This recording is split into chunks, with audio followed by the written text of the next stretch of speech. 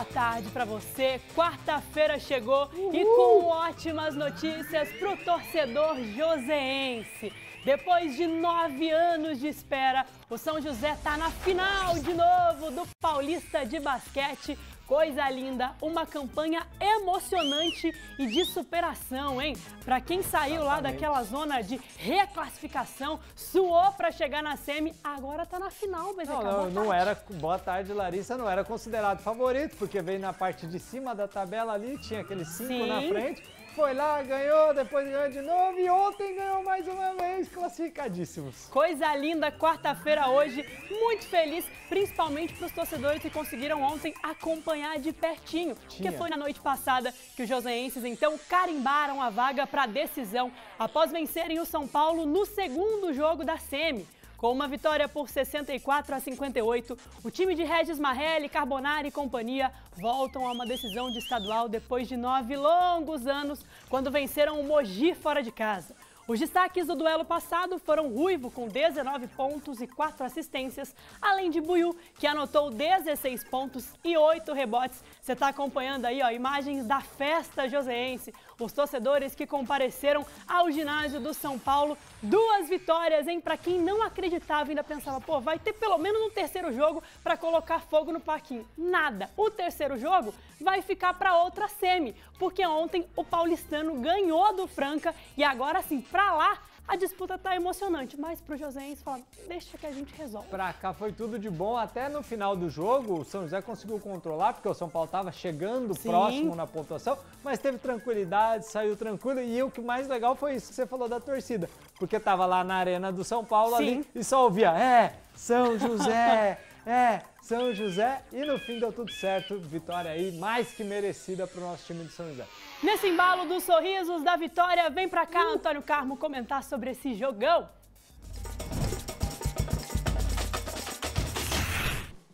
Alô, meus amigos, os donos da bola, muito boa tarde, salve, salve, sejam todos bem-vindos. Muito calor por aí, ah, mas não reclama não, é calor, é frio, é chuva, a gente vai se adaptando àquilo que Deus manda, né? Vamos devagar aí, tomando muito líquido, muita água, viu, gente? Devagar aí, para poder se proteger nesse calorzão aqui do dia 2 de outubro de 2024. Carmopédia no ar aqui, dentro dos donos da bola, o mais tradicional programa esportivo da TV do Vale do Paraíba, com o Lucas BZK, com a Larissa Murad, com o Bernardo, com o Pedrinho que está de férias, com o Leone que está conosco, levando para você a melhor imagem da TV Band Vale. Eu falei ontem aqui, hein, que o São José tinha muita chance de ganhar e que eu estava confiante. E isso aconteceu no basquete ontem lá em São Paulo no ginásio do Morumbi. O São José não tomou conhecimento do São Paulo Futebol Clube e ganhou. O placar foi baixo. Foi um placar apertado, né? 64 para o São José, 58 para o São Paulo. Mérito para o São José, só tomou 58 pontos. Num jogo em que você toma apenas 58 pontos, normalmente você vai ganhar, você não vai fazer menos que isso. A, a defesa do São Zé funcionou muito bem, o, o, time São Paulino sentiu lá, né, o Ricardo Fischer não em boas condições físicas, o principal amador do time, aquela coisa toda, o Coelho já também machucado, e o técnico Guerrinha continua mais perdendo do que ganhando quando enfrenta o São José. O fato é que o São José está classificado, gente para a final do Campeonato Paulista. O Campeonato Paulista de Basquete Masculino é o segundo campeonato mais importante do país. Só perde para o NBB, o Novo Basquete Brasil, que reúne os principais times de São Paulo e um outros grandes times aí como o Flamengo, o Vasco, o Minas Tênis, que são times fortes também é, por esse Brasil afora. Mas o Paulistão de basquete é sensacional. É um campeonato extremamente disputado. Vejam vocês que na outra semifinal, o Paulistano ganhou de Franca lá no Pedrocão, o templo do basquete brasileiro ontem. Ganhou bem, 95, 88, sobrou no jogo. E o time do Demetrio Ferraciu, que é muito bom com a molecada. Então o São José agora já está na final. Depois de nove anos, volta a disputar uma final do Campeonato Paulista. A última vez foi em 2015, quando o time foi campeão, batendo o Mogi na grande decisão. São José já é pentacampeão paulista, ganhou cinco vezes, vai em busca do sexto título. Aguarda para amanhã o seu adversário. Ou será Franca ou será paulistano. Mas eles que se cuidem. O São José do Regis Marrelli está muito bem e a torcida está confiante, tá bom? Amanhã eu volto. A gente fala mais de esportes aqui nos Donos da Bola. Combinado, Carmo. Só que assim, nem tudo são flores, né? No futsal, o Taubaté cedeu o empate ao Brutus na noite passada, no último minuto de jogo. Marcando um gol ainda na primeira etapa com Brian, os taubatianos viram os donos da casa empatarem no fim com o goleiro Linha. Agora o time do Vale do Paraíba se prepara para encarar o Barão de Mauá em casa na sexta-feira. A gente sabe que essa é a máxima do futsal, né? Sempre o time que está perdendo vai com tudo pro goleiro Linha. Sim. E aí o Taubaté acabou levando a pior num jogo que não estavam assim tão ligados quanto os últimos. E aí, é claro, acabaram cedendo o empate. O time de Limeira, que sabia, era uma pedreira enfrentar o Taubaté, mas para eles é aquele empate com gol de vitória, né, Lucas? Aquele empate com gol de vitória. No último minuto sempre é assim. E você vê que foi um jogo um pouco mais desligado, porque o placar 1 a 1 No futsal Sim. geralmente sai muitos gols, mas Brian fazendo mais um, já tinha feito dois no outro jogo, é. mais um agora, também se transformando aí em um dos artilheiros da equipe. É isso. Agora a gente segue falando de Taubaté, a equipe do Futset. Você sabe o que é Futset? A galera que nesse ano vão disputar a Libertadores na Argentina ao lado dos hermanos. Esse time com toques envolventes e velocidade tem muita qualidade. É a equipe de Fute 7 de Taubaté. E se você não sabe direito como é a modalidade, calma que o professor te explica. Assim, o Society seria uma Vars, um amador, e o Fute 7 como fosse o profissional, né? Onde as regras são um pouco diferentes, a intensidade muda um pouco. E pela primeira vez o Taubaté disputará a Libertadores de Fute 7 na Argentina entre os dias 9 e 13 de outubro. A gente vem e preparando bem, né? A expectativa é a melhor possível para a gente conseguir chegar lá na Argentina e, se Deus quiser, almejar chegar numa final aí, se Deus quiser ser campeão. As expectativas são as melhores possíveis, né? É, tendo em vista que a gente foi bem no Campeonato Brasileiro ano passado, é, são jogadores de qualidade que estão tá na equipe, são jogadores acostumados a jogar, então a gente está crente que vai fazer uma grande competição. Qualidade não falta por aqui. O time conta com o melhor goleiro do Campeonato Brasileiro e o artilheiro do Paulista. Os caras resolvem. Acho que isso aí só, só aumenta minha responsabilidade, né? Acho que daqui para frente agora se eu for mal, acho que as, as coisas ficam ruins para mim. Pois é, ano passado fui feliz em ser o artilheiro do Campeonato Paulista, né? Então, a minha meta é chegar lá e ajudar ao máximo o Taubaté possível com gols e assistências. A Libertadores conta com 24 times de seis países diferentes. O Taubaté ainda não tem adversário definido, mas existe uma nacionalidade que eles fazem questão de enfrentar os argentinos. Nossos irmãos aí são bastante catimbeiros, então a gente tem que ir lá preocupado em jogar futebol apenas e não entrar nesse jogo de catimba deles aí, que a gente tem tudo para fazer uma grande competição. Brasil e Argentina tem essa rivalidade já, né?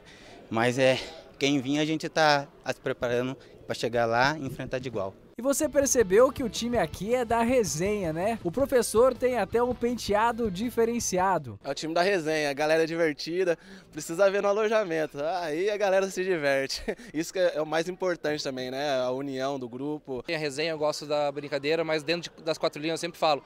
É, não tenho amizade nas quatro linhas. Para mim, o que importa é o trabalho do Taubaté, o trabalho para a cidade. O Taubaté conquistou a vaga na Libertadores após alcançar o terceiro lugar no Campeonato Brasileiro de 2023. Para a competição continental, eles estão com os pés no chão, mas se derem brecha, os brasileiros sonham alto. É uma competição de alto nível, né? A gente ano passado disputamos Brasileirão também pela primeira vez e fomos com um pé no chão, trabalhando muito, conseguimos a terceira colocação, conseguindo a vaga para Libertadores. Sabemos que é um o maior campeonato da elite do, do continente, né?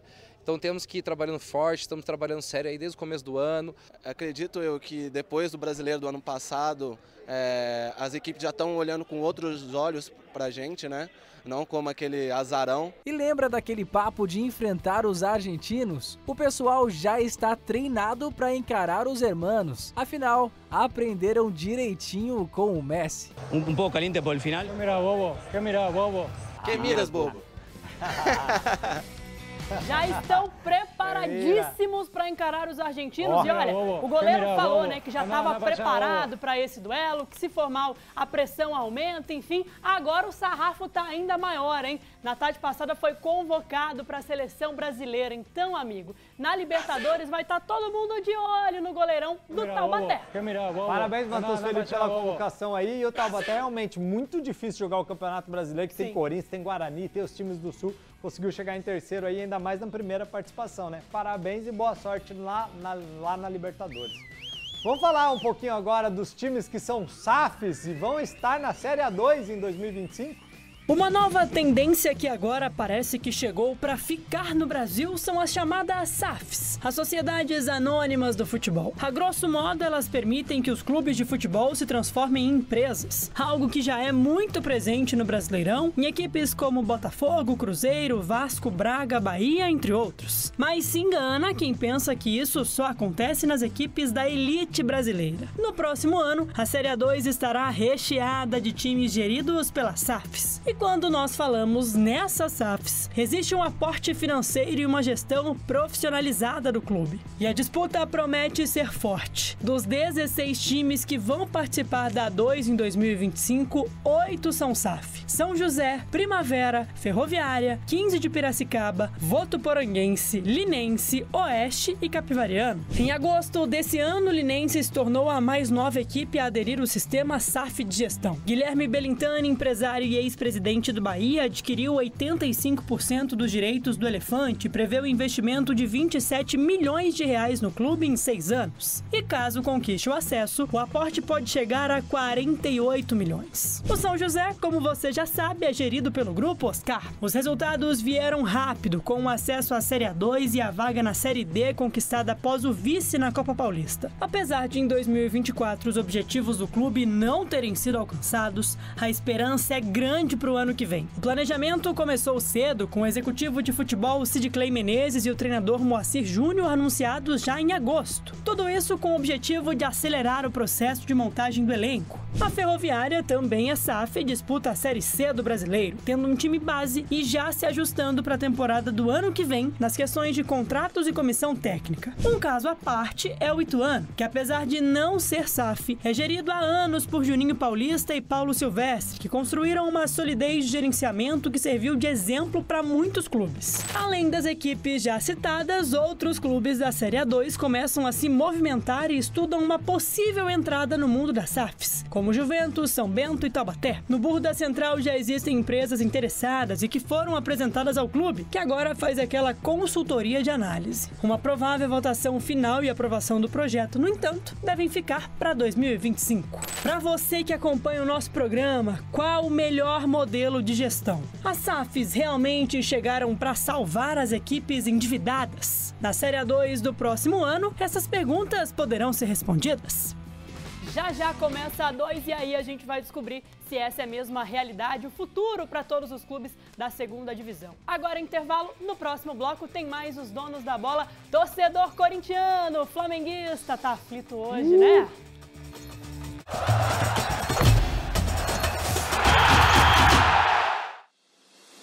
Principais mercados do Brasil, na região metropolitana do interior do estado de São Paulo, está localizado o maior complexo de mídia, com três emissoras de rádio, líderes em seus segmentos e a TV Band Vale, além de um portal. TV Band Vale. Uma das maiores e mais tradicionais redes de TV aberta do nosso país está presente em nossa região, Vale do Paraíba, Serra da Mantiqueira e litoral norte do estado de São Paulo. Hoje conta com os maiores nomes e eventos da televisão brasileira. Sérgio Maurício e Reginaldo Leme na Fórmula 1 e nas principais categorias do automobilismo, Masterchef e muito mais. A TV Band Vale leva até você as notícias com agilidade e em primeira mão, com 5 horas e meia de programação ao vivo por dia, mostrando o que acontece em nossa região com muita interação com os telespectadores e dando voz à população. Band Vale. A Rádio Band Vale FM, com seu sinal em 102,9, tem a maior cobertura do interior de São Paulo. Ao todo, são 65 cidades, atingindo mais de 3 milhões de pessoas e 450 quilômetros de estrada. Bom gosto musical, conteúdo diferenciado, informações precisas e jornalismo qualificado. Nativa FM. A rádio que é referência em sertanejo e músicas românticas tem a comunicação mais simpática do Brasil, líder absoluta em audiência há 16 anos, atingindo mais de 220 mil ouvintes. Muito mais jovem e super atual. Uma marca forte, com atributos diferenciados e conectada nas novas tecnologias, principalmente com você. É aqui que acontecem os grandes shows da região. Acessando o portal bandvale.com. No portal você pode acompanhar a programação da TV Bandvale e ouvir ao vivo todas as rádios do nosso grupo. Acesse bandvale.com, tudo num só lugar. O portal de notícias que mais cresce na região. Tem em seu DNA forte cobertura regional Com especialistas em entretenimento, o núcleo de eventos do Grupo Band Vale organiza e promove os mais variados tipos de ações, shows e projetos especiais, oferecendo ao mercado opções diferenciadas de patrocínio e projeção de marcas e produtos, e ao público cultura, lazer, descontração e sustentabilidade. As emissoras funcionam 24 horas por dia, transmitindo direto de um dos principais shopping centers da região. E além de uma estrutura física toda preparada para a produção de televisão e rádios com tratamento acústico de excelência, possuímos um sistema de áudio com protocolos sobre IP, os mais modernos equipamentos de edição e exibição de sons e imagens para levar ao nosso telespectador a melhor experiência, somado a um conteúdo com melhoria contínua. Contamos também com uma laje técnica composta por antenas parabólicas de recepção e transmissão de sinais via satélite, grupo gerador de energia de alta potência, além de no-breaks que garantem estabilidade de energia elétrica com monitoramento 24 horas através de um moderno sistema de telemetria e controle remoto. Item fundamental para que o telespectador tenha disponibilidade ininterrupta do conteúdo dos veículos do grupo Band Vale.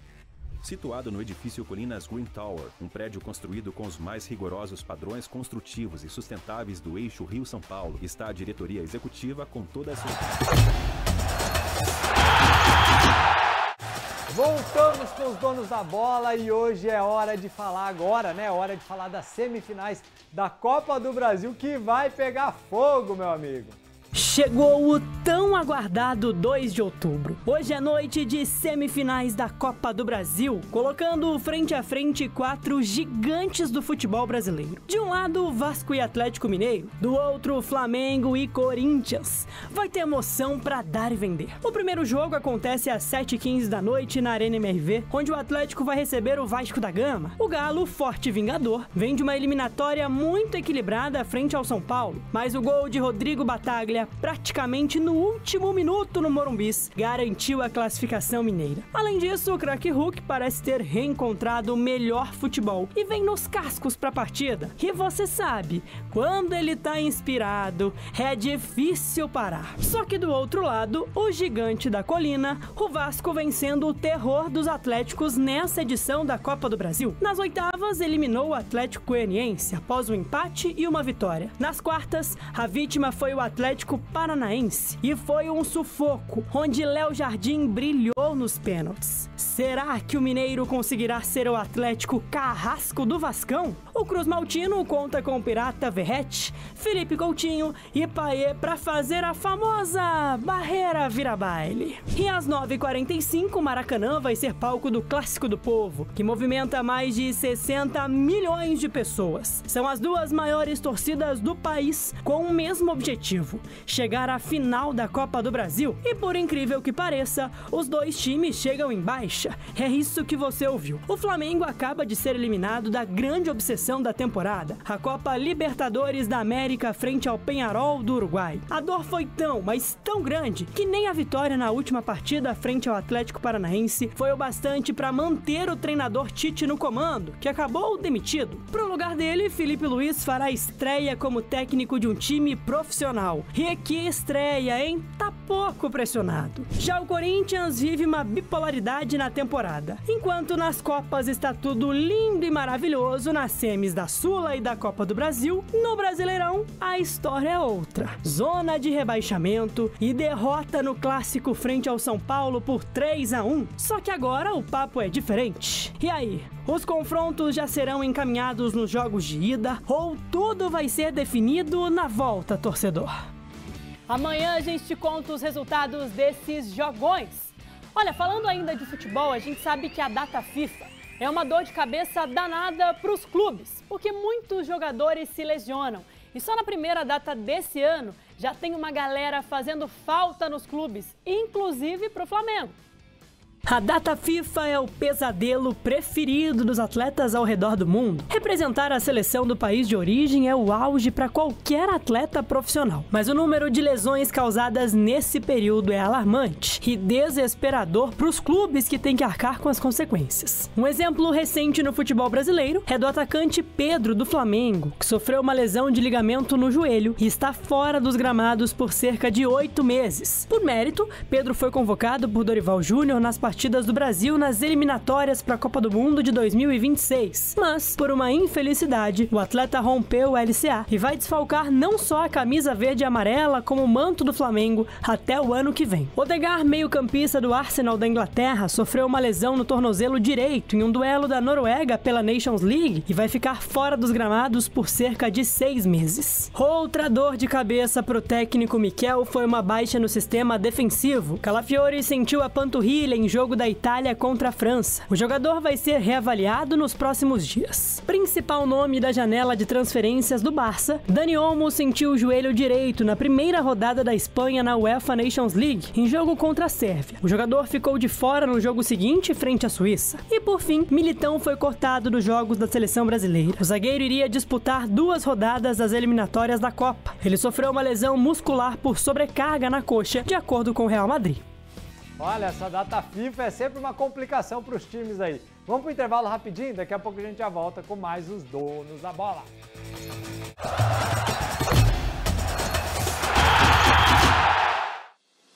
Em um dos principais mercados do Brasil, na região metropolitana do interior do estado de São Paulo, está localizado o maior complexo de mídia, com três emissoras de rádio, líderes em seus segmentos e a TV Band Vale, além de um portal.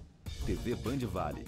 Uma das maiores e mais tradicionais redes de TV aberta do nosso país está presente em nossa região, Vale do Paraíba, Serra da Mantiqueira e litoral norte do estado de São Paulo. Hoje conta com os maiores nomes e eventos da televisão brasileira.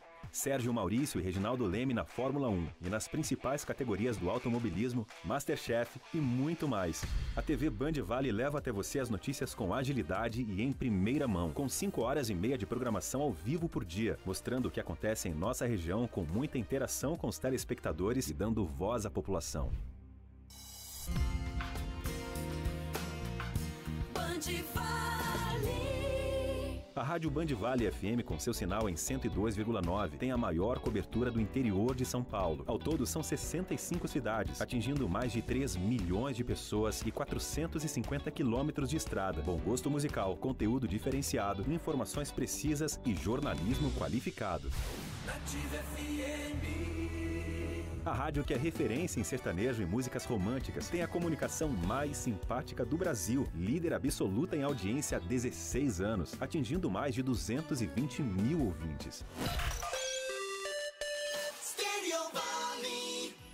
Muito mais jovem e super atual, uma marca forte com atributos diferenciados e conectada nas novas tecnologias, principalmente com você. É aqui que acontecem os grandes shows da região. Acessando o portal bandvale.com. No portal você pode acompanhar a programação da TV Band Vale e ouvir ao vivo todas as rádios do nosso grupo. Acesse bandvale.com, tudo num só lugar. O portal de notícias que mais cresce na região. Tem em seu DNA forte cobertura regional.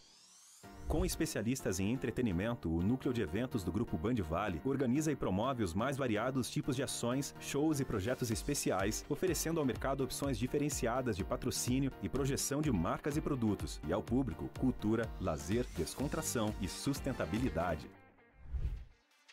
As emissoras funcionam 24 horas por dia, transmitindo direto de um dos principais shopping centers da região. E além de uma estrutura física toda preparada para a produção de televisão e rádios com tratamento acústico de excelência, possuímos um sistema de áudio com protocolos sobre IP, os mais modernos equipamentos de edição e exibição de sons e imagens para levar ao nosso telespectador a melhor experiência, somado a um conteúdo com melhoria contínua. Contamos também com uma laje técnica composta por antenas parabólicas de recepção e transmissão de sinais via satélite, grupo gerador de energia de alta potência, além de no breaks que garantem estabilidade de energia elétrica com monitoramento 24 horas através de um moderno sistema de telemetria e controle remoto. Item fundamental para que o telespectador tenha disponibilidade ininterrupta do conteúdo dos veículos do grupo Band Vale.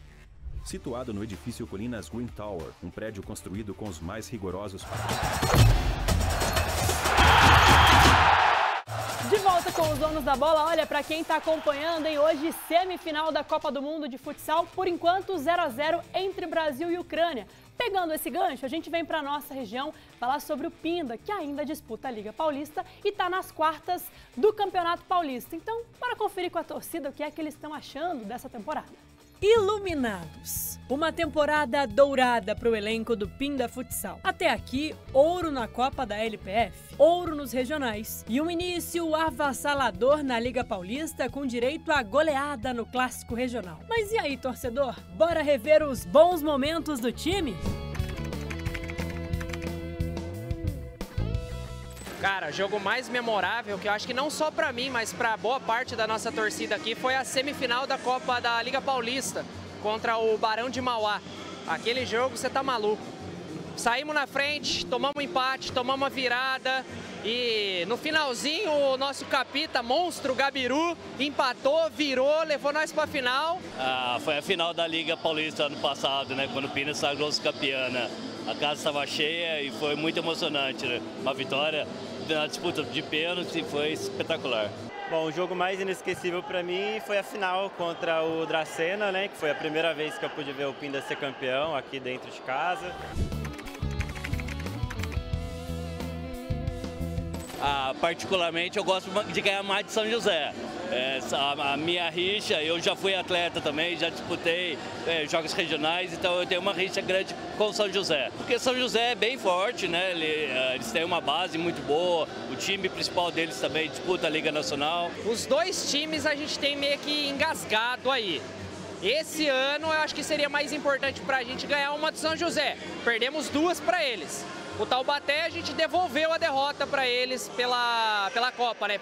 Perdemos na Copa lá e aqui aplicamos um 8 a 3 inesquecível também. Taubaté é o mais próximo aqui, né? Então a gente teve.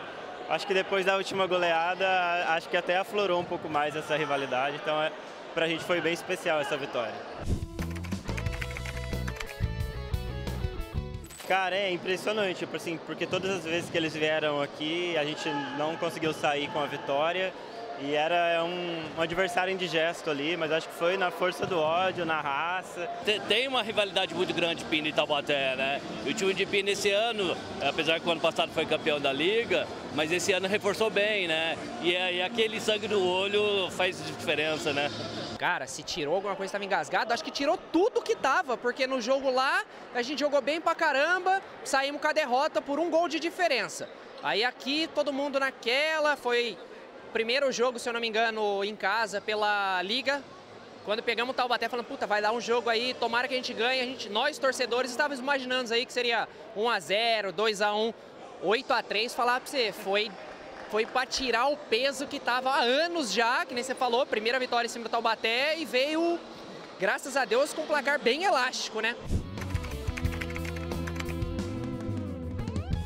Pra gente foi dolorido sim esse 8 a 1 lá.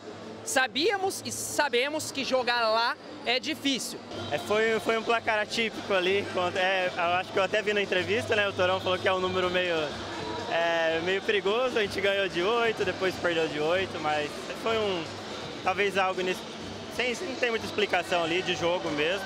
Derrota pro Corinthians doeu bastante, mas é, o time tem condições de reverter isso aí e hoje vai ser diferente. Mas ganhar Taubaté também é muito bom, né? A torcida Dragões, né? A torcida Dragões incentiva bastante, e o pessoal é bem animado, isso é muito importante pro time. Ah, essa torcida, né? É o sexto jogador que nem eles sempre falam, é a torcida, não tem como. É nós, a Dragões do Vale, junto com os Loucos de Pinda também que abraçou a causa, junto com o pessoal que também vem pra cá e gosta do futsal, gosta do Pinda, é, eu acho que é a torcida e, querendo ou não, dá um ambiente diferente, né?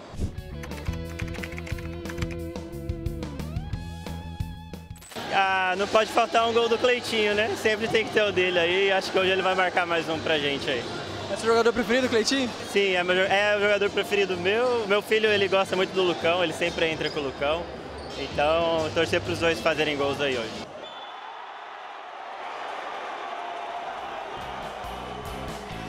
Só adendo aqui, Lari, o Cleitinho é o preferido também do Pedro, tá? Do nosso repórter. Cleitinho é unanimidade, joga muito. Um abraço pra você, Cleitinho. Inclusive, recentemente virou papai. É. Agora sim tá lá tranquilão, Tudo que ganha no Pinda é pra levar pra casa, muito leite, muita fralda.